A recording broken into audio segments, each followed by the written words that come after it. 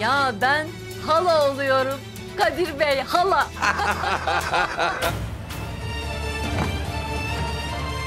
Bir tanem ne olur geri dön.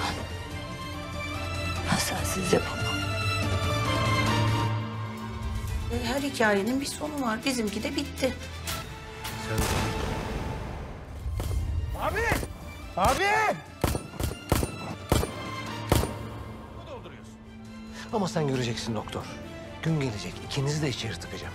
Bak korkunç şeyler oluyor.